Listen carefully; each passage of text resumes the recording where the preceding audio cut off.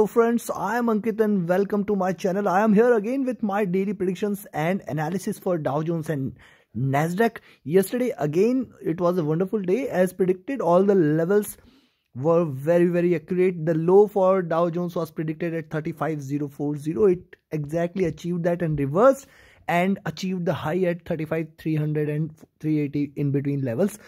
For Tech 100 also similarly it did cross 15300 which was a major resistance. Now what lies ahead for the little let's have a look. Don't forget to like share subscribe and comment friends.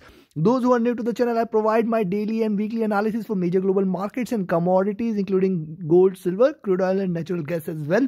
And right now if you look at the dow jones is trading at 35425 levels and tech 100 at 15350 levels. A good rise till day till now throughout the day 0.5 percent rise across uh, we have seen today and it has been a completely bullish day. It, i i did not see a, even a single red candle on a 4 hour 3 hour 2 hour charts. Now let's have a look at the analysis. Don't forget to press the bell icon so that you can remain updated with my latest analysis and latest videos as well. Now let's start with tech 100 we are going to look at tech 100 first and then it will be followed by uh, us 30 so watch till the end. Now look at tech 100 chart. Let me turn off the indicators. First we are just look going to look at the charts and then we'll be looking at the indicators. So this is uh, first let's have a look at the daily charts. On the daily charts you can see on the daily charts you can see this level at 35 15 uh 15 3 280 which is providing it a support for the day. And if you look at the previous candle previous candle was a bullish candle completely bullish candle 15 300 from 15050 so almost 250 points. Now if you look at the second candle this is going to be the second consecutive green candle. We can almost at least we can expect half the size of it so maybe 125 points which makes it to 15400 definitely it might try to achieve but we are going to look at the levels shortly. And if you look at so also you have to see this previous candle has left a wick here and now this candle has started flat. So now 15 280 definitely will provide a support. Any break below 15 280 will be an indication that it is going to test again this level that is at around 15080 15100 so you have to watch out for these levels at 15 to 80 if it breaks this level you can go short else till that time you can remain long. So this is just on the daily charts. Also you have to see this on the daily charts that it has completed this retracement. So now it is trying to cross and if it tries to cross the next level will come into picture at around 15 450 levels. After that the next stop will be directly at 15700 so we are we have got couple of key levels here right now to watch out for on the daily charts. Now let's have a look at the 4 hour charts.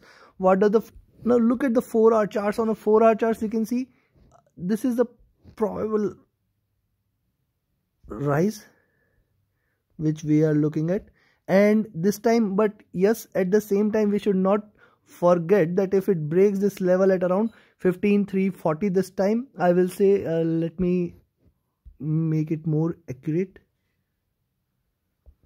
So if it breaks this level at around 15340 definitely you, it will break further and it can break further towards 15280 as well. So uh, one more key level 15340 which we have to watch out for. At the same time we have to look at the candle size. So look at the candle size of the candles. Almost see this is the increasing size and now the body size has reduced so there is a tail available. So now possibly this size of this candle i don't find that it has to diminish and then maybe it might try to drop later. But yes how far this could go we have to have a look at it. And if you look at the size of the candle 15300 to almost 15340 40 points same 40 points. Now here also 15350 to almost 50 points 15400 can be achieved and beyond that also it can go. So yes these levels are again an indication that probably we might be looking at a rise here. Till the time till the time it remains above this we might be looking at 15420 levels somewhere here at 15420 430 levels and beyond that also it can go anyways these are markets. Anything is possible. Now look at the 3 hour charts. On a 3 hour charts you can find that this is the consolidation zone. It has got consolidated within these levels. Now you can see that 15300 to 350 then 15332 15370 almost 40 points 40 points. And now it is trying to form a body. Another 50 points or 60 points candle is a probable chances that if it remains green it might hit 15 420 levels. So the next target is clear. Till the time it is above 15 340 we are going to look at 15 420 levels. So uh, from 2 hour 3 hour charts it is very very clear. And also you have to look at this formation. So this is a breakout candle which has happened. And till the time it remains above this level at 15300 definitely we can look forward to a good rise rather i'll say 15330 levels definitely we can look into 15420 levels. So this is 3 hour charts. On a 2 hour charts the story on a 2 hour charts the story remains same but you have to see this is the consolidation zone here. Look at this this is the consolidation zone. A breakout candle and then it is trying to again form a channel. So maybe this candle might end in a doji and similar formation it might happen uh, that uh, this candle how this candle is formed. Maybe this candle again may end at 15360 levels and then the third candle give it a good rise. So this is another probability and if you look at looking at the hourly charts uh probable consolidation level definitely 15300 is a good support right now and in fact 15 to 80 should be a good support. Now let's turn off the indicators turn on the indicators here.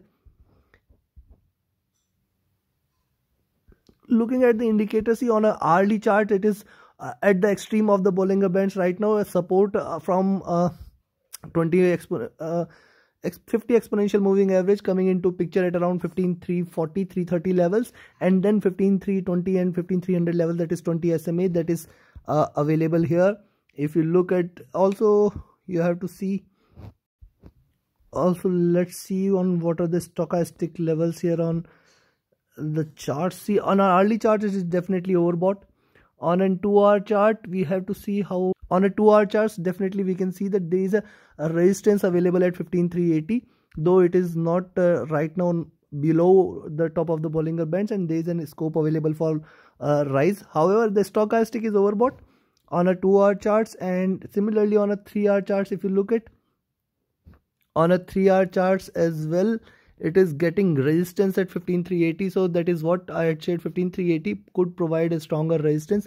And look at this line 15320 now the support levels coming into picture.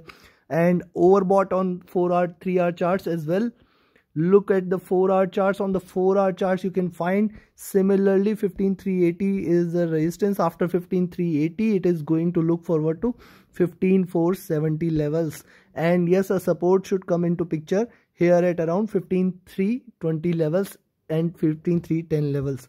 So now coming to the daily charts. On the daily charts on the daily charts a support will come into picture only at around 15 to 10 till the time it is above 15 to 10 it might try to trade between 15380 levels. Once it crosses 15380 we are going to look at 15470 levels as well. And on the downside the support levels are quite well below. If you look at this uh, right now it is still in a bearish zone. If you look at the 20 SMA uh, trading below uh, 100 SMA indicating that still there is some bearishness on the daily charts. So uh, yes we have to also look at the stochastic on the daily charts is again overbought and the MACD lines have crossed over. So possibly see this is the divergence and possibly if it drops and they might try to converge and again enter into bear zone or rare possibility but yes it may happen as in indicators are overbought right now. RSI is again trying to enter into an overbought levels. Considering this let me give you the levels directly so see I am speaking this much just to share with you how the charts need to be analyzed how to look at the perspective of the charts because charts speak on its own. So you have to listen to it patiently and appreciate that if i am sharing definitely there is something worth for you to listen and understand. So that is why watch till the end. Now considering this now let me give you my first 15 3 35 is the first number which you have to look forward to and then 15 3 1 8 is the next number. Till the time it is about oh, okay uh, see these this time it is going to be quite a close affair because we are going to look at very close numbers 15300 and 15280 till the time it is above 15280 today you can remain long any break below 15 to 80 you can go short. You can expect it to head towards 15 to 20 levels and below also can be expected. Now 15335 what is the next target? 15380 the next resistance will come into picture. Between these levels uh, almost 45 points try to stay away from trading between these 45 points and below 15335 you can take a short. You can expect another 17 points or maybe 37 points towards 15300 and on the upside after 15380 we are going to look at 15420 as the next target. Then 15 4 6 5 into will come into picture. After this sky is the limit. It is going to head towards 15 525 and 15 600 levels in the near future so yes between these 45 points don't try to take a position now this is all about hope you have taken a note of these numbers now let's move towards dow jones now look at the Dow Jones chart, the support level. This is the daily chart on the Dow Jones. If you look at the support level, probably see whenever it happens, see couple of red candles, then a strong rise, couple of red candles, then a strong rise. And how far this candle could go? This candle can take a shape and size of this candle that is almost at around 400 points of rise. We have saw we saw this time for, uh, almost 600 points uh, rise we saw and here it gave us almost 300 points of rise so this candle can definitely give you almost close to 400 points of rise so 15200 till the time it is above 15200 we can expect it to hit towards 15600 levels. So yes till the time it is above 15 to 35 200 we can expect it to head towards 35 600 levels. Please pardon me please forgive me for using 15600 but it's 35 i i, I messed it up with the nasdaq. So uh, yes 35 600 can be expected and and what could be the different support levels which will come into picture? So definitely 35 200 is there support on the daily charts. Below 35 200 we are again going to look at 34 900 and below levels. Till the time it is above 34 5 200 we can expect it to hit 35 600 levels. So uh, this is on the daily charts. Now let's turn our head towards 4 hour charts. On the 4 hour charts you can see this is the consolidation zone. It has seen a dip it has seen a high.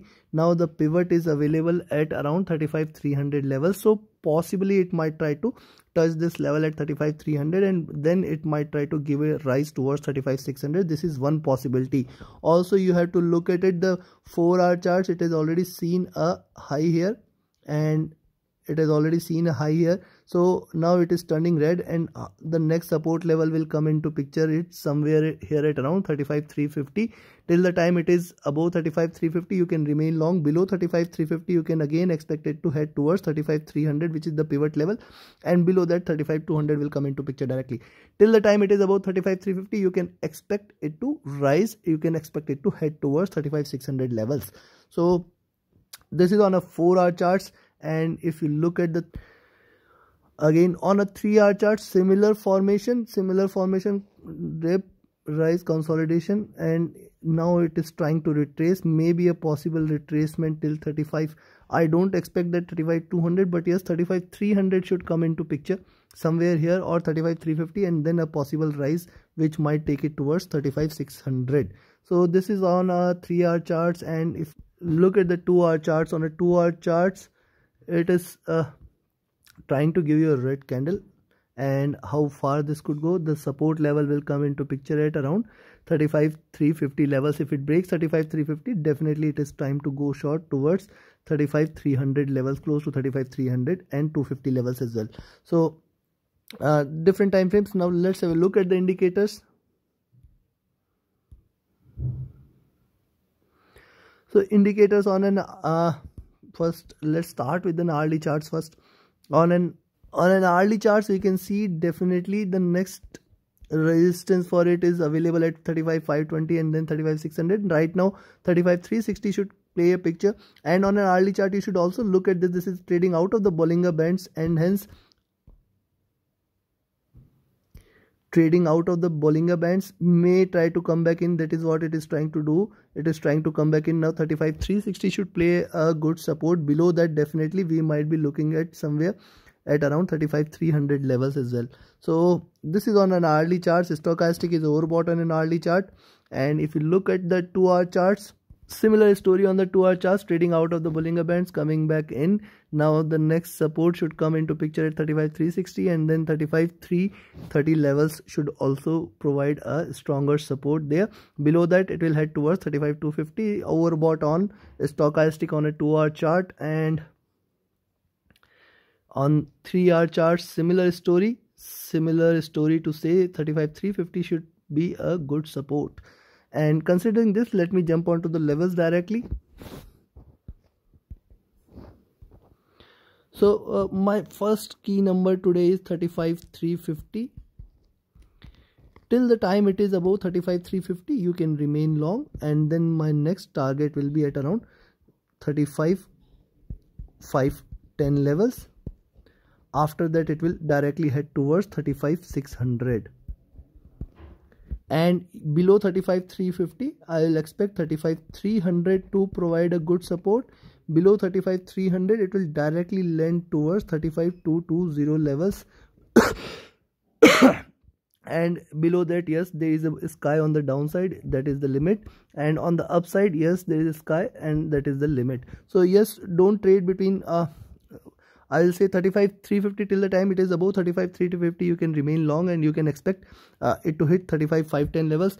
In between once it crosses 35 445 now once it goes above 35 445 you can remain long for 35 510 and 35 600 between these 600 points 35 350 to 35 450 445 don't try to take a position. And below 35 350 you can go short but i'll expect anywhere in between it might try to bounce back. And only if it drops. So if you are entering a short at 35 350 keep the stop loss there itself and then expect it to drop. But yes if it reverses exit at the cost itself. And if you look at on the downside below 35 300 definitely we might hit 35 220 levels as well. So this is all on dow jones and nasdaq. Thank you very much. Have a profitable trading day don't forget to like share subscribe and comment friends